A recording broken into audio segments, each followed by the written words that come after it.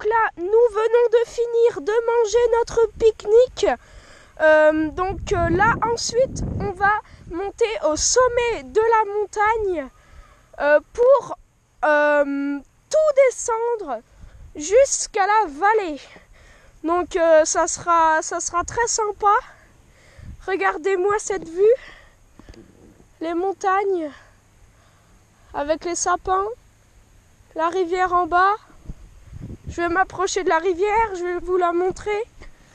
C'est magnifique. L'Autriche, c'est splendide. C'est la troisième année qu'on va en Autriche. Et c'est la première fois que je filme une de mes expéditions. Regardez. Voilà. Un fil électrique parce qu'il y a des vaches. Regardez-moi cette rivière. C'est magnifique. Donc, euh, à tout de suite pour la montée en haut.